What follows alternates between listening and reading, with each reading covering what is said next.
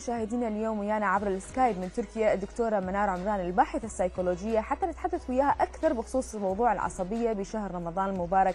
يسعد صباحك صباحك نورتينا مثل. كل مرة. أهلا بيش نورتينا.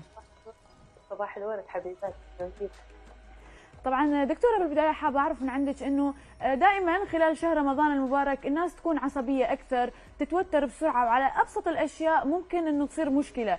شنو يكون السبب لهذا الموضوع؟ خاصة إحنا نقول إنه شهر رمضان المبارك الشخص يكون يمكن هادئ أكثر يتجه إلى الصلاة أكثر إنه يكون آه، بمكان هدوء أكثر ويكون مرتاح همينه. شنو السبب اللي يخليه يصير عصبي؟ آه، نقصان الأكل والمي. آه، الأكل يمثل الجسم الجسم كامل البودي نعم. بالاشياء المفيده يعني تفيد الهرمونات حتى تتحرك الهرمونات وتعطي إعازات لبقية وظائف الجسم. إنه آه، تشتغل بصر- بصورة سليمة. المي لازم نعرف هذا تكلمنا كثير في يوتيوب آه، المي هو غذاء الدماغ.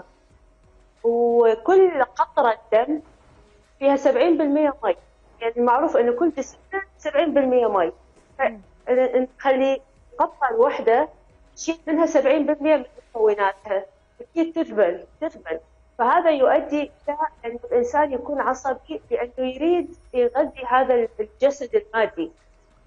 هو أساس الصوم أنه آه الإرادة عندنا تقوى لكن هو صعب على الجسد المادي خاصة بداية الأيام.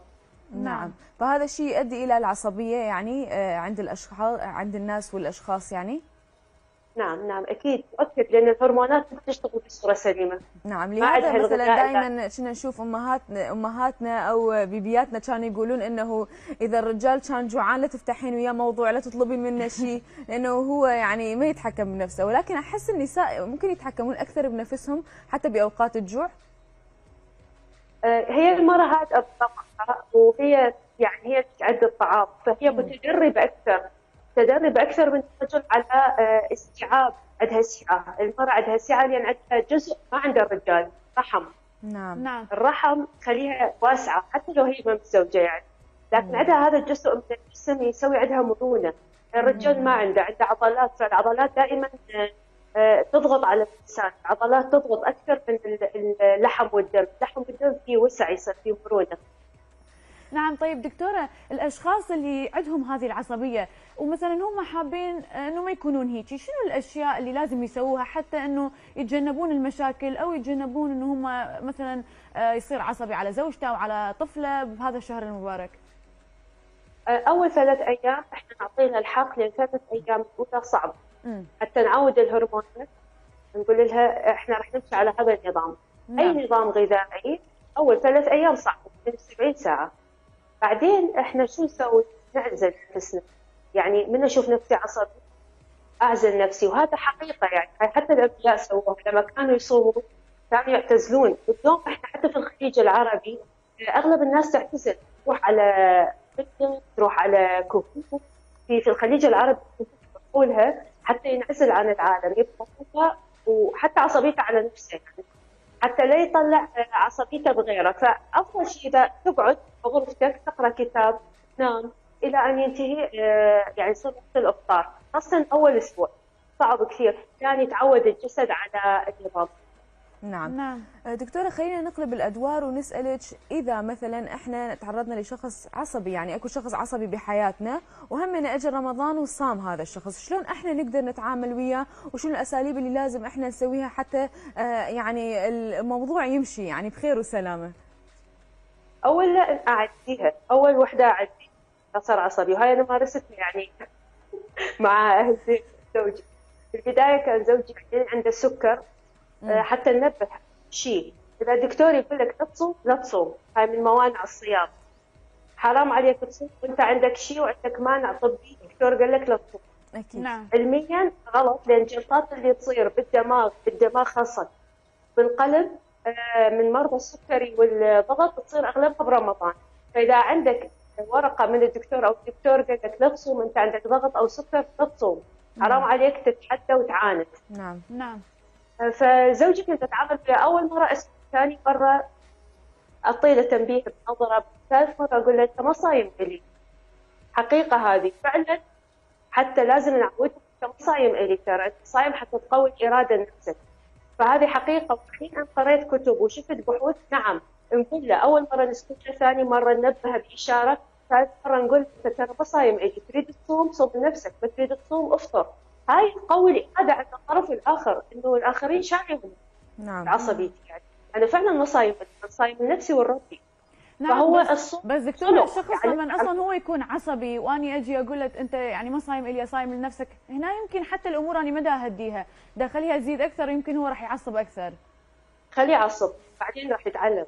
فهو لازم يطلع الغضب. إحنا شو قلنا دائما؟ نقول الغضب والقلق شعور. فلازم يعصب. هذه تصير مشكلة ومن بعد المشكلة يتعلم. فهو لازم في أشخاص ما يتعلمون إلا بصدمة وبمشكلة. نعم. مو كل الناس نطبطب عليها حتى تتعلم.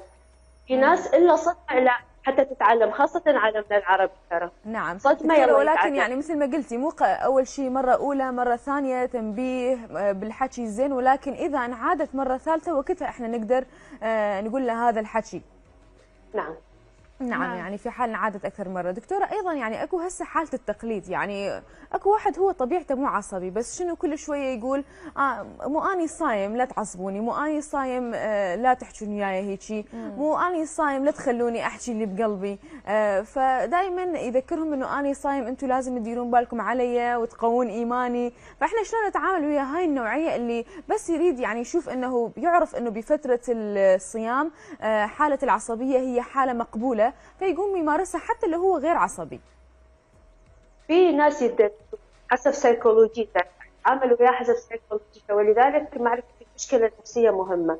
يعني أبو الاكتئاب من يصوم؟ عامله بيطبطب يعني هو فعلا متأذي. هو دا يصوم غصبا عليه لأن يريد يؤدي هذا الركن الديني اللي هو الصيام. أبو القلق إذا يصوم لا لازم أنا أشتغل على القلق. ما أنت أنت يعني دائما أنطي له ما يثبت القلق.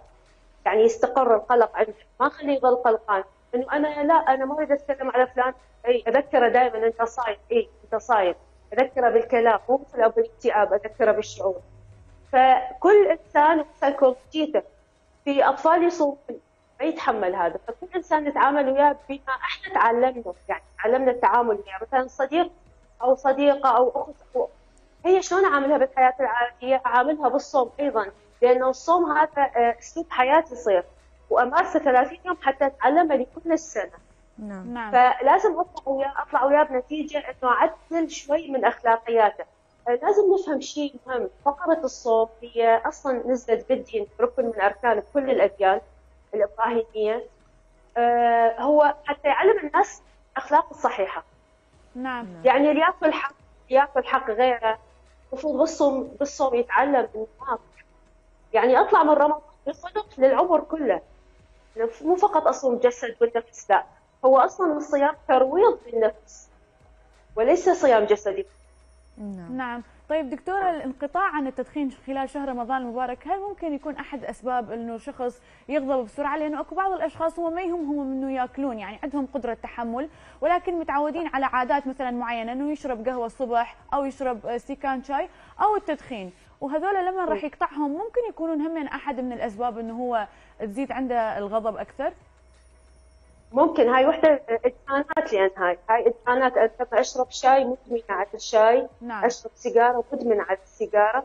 فشو يسوي هذا الدخان؟ النيكوتين يهدئني.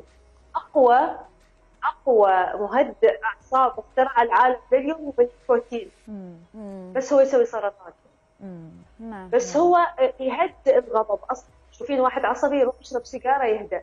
لأن عنده أيوة. نيكوتين ده يهدئ الغضب فلما ينقطع النيكوتين أكيد ترجع شخصيتي الطبيعية. أيه. لأن في خلل صار بالهرمونات. أنا دا نايمه الهرمونات. حتى الشاي على فكرة. والقهوة. كلها كافيين. هاي مخدرات. بس إحنا تعلمنا عليها لأنه هي اولا مزاج إثنين نقضي أوقات ممتعة معاها. ثالثا هي تهدئ غضبنا. يعني أنا بدل ما أتعصب أشرب فنجان قهوة خلاص استمتعت فيه يعني راحت العصبية غير الجو. نعم. فهذول من الطبيعي إنه آه، يتأثرون أكثر من الناس الباقين. لكن مثل ما قلتها بالبداية الصوم هو تهذيب للنفس. غاية الصوم ترى تهذيب النفس ما عنده أي غاية أخرى. مم. يعني هو مو بس إنه تحرم نفسك من المي والأكل. لذلك الناس تتقدم بالأخلاق يقول لك ما أريد أصوم. لأن هو أساسا تعلم على ضرب الصوم في حياته العادية. أغلب العلماء والمفكرين يقول أنا ما هو متدين على فكرة بس يقول تعلمت لأن تعلم خلق خلق وصل إلى مرحلة بعد الصوم ما يعلم شيء. نعم. فصار ممارسته وعدم ممارسته نفس الشيء. اذا الصوم هو غاية تهذيب النفس وليس أحرم الجسد. مم. هو تهذيب النفس لأن أغلب الناس آه، الأطفال يتصرفون. كل شيء يريده يسويه فهو كبح الملذات.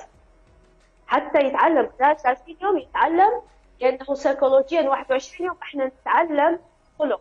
21 يوم. صحيح. ف 30 يوم هي تعلمنا خلق امارسه عمري كله صحيح. أما أمارس 30 يوم في الصوم وبعدين أرجع نفس اخلاق لا.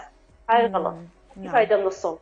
نعم. دكتورة أيضا يعني بالنسبة للعصبية هي آه، ممكن إحنا نقول إحنا فترة رمضان تزيد نسبة العصبية ولكن العصبية هي وجودها بشكل عام حتى برا شهر رمضان هو شيء طبيعي لو غير طبيعي لو مرضي. مرض هذا اسمه الغضب.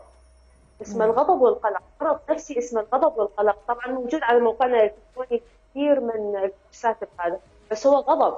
هو من يصير به ضغط الدم والسكري؟ السكري مريض قلق وضغط الدم مريض غضب. هذا من هو؟ طفل. هو طفل شاف أمه وأبوه تعرف فقد أم فقد أب خاصة البلدان اللي صار فيها حروب مثل العراق سوريا والكثير من البلدان العربية. لما يفقد شخص في العائلة يكبت الغضب فيبدأ يطلع بيصير عنده سيطرة. 14 15 سنة 20 سنة من يقدر يطلع على الناس؟ يبدأ يطلع غضبه المكبوت وغضبه من الحياة بصورة عامة يعني المكبوت والحاضر. نعم. لكن هو أساسا جذر جذر العصبية هي غضب.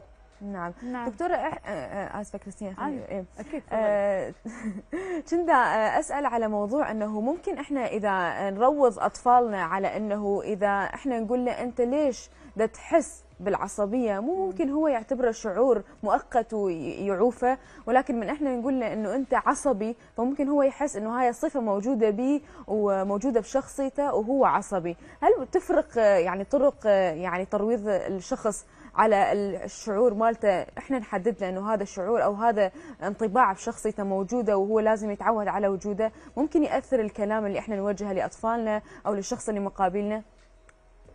هو الطفل من صغير يعني لحد عمر 14 سنة ما يحمل لا حقد ولا غيرة ولا حسد على الآخرين إذا إحنا ما علمنا نعم. فما عنده أصلا غضب. منين يجي الغضب؟ يجي إنه ابن عمك أحسن. شوفوا بيت عمك أغنياء وإحنا فقراء. شوف فهذا يطلع عنده هذا الشيء حقد نعم أنا محروم ليش أنا عندي كذا؟ فأفهم ابني. مم. اولا الأم والأب هاي الممارسات بعيدة عن أطفالهم. حتى إذا يبون يتعارفون بعيد عن أطفالهم. نعم. حتى لا يصير الطفل حاقد على طرف على أب أو أم وعلى حالة اجتماعية أو اقتصادية. أحد يشعره بالعار انه إحنا فقراء أو غيرنا أغنياء. انه إحنا عندنا مثلا آه، شخص جاب لنا العار أو شخص انسجن أو شخص آه، مات. فإحنا تأذينا. هذا بعيد عن الطفل. حتى ينشأ تنشئة سليمة. آه، الفقر حالة عادية. okay. أنا أكبر أصير غني. من يكبر نعلم اشتغل إحنا ما نبقى بهذا الفقر. هاي صارت عندي كثير نعم. عوائل الكل يعرفها. فأي أصلا ما علم الطفل على الحقد والمقارنه حتى لا يحمل هذا الضغينة على المجتمع وعلى الحياة بصورة عامة. بعدين نعم. تنعكس على رب العالمين طبعا. هذا واحد من الطفولة. لما يكبر طبعا الطفل وهو صغير علم امه إنه أحكي لي شنو صار بالمدرسة؟ منو قهرك؟ حتى ما تصير مشكلة بين الأم والأب أفهم الطفل ترى أبوك قصر اعطاني مثلا مصرف ترى أبوك آه، صحيح يا ضربني بصراحة إحنا لازم أبوك نسوي كذا. خاصة فقط للتحكم بانفعالات بسيطة. بهذا المجال بصراحة فعلا نعم. طبعا شكرا لك دكتورة وأكيد إحنا يعني لازم تكونين مستمرة ويانا بخلال هذا الشهر حتى نقدم للناس نصائح أكثر بخصوص هذا الموضوع لأنه هذه يعني ما شاء الله عليك اليوم طيتينا كم من المعلومات المهمة اللي راح يستفاد من عندها كل الأشخاص اللي يتابعونا اليوم. شكرا شكرا لوجودك ويانا اليوم. شكرا دكتورة.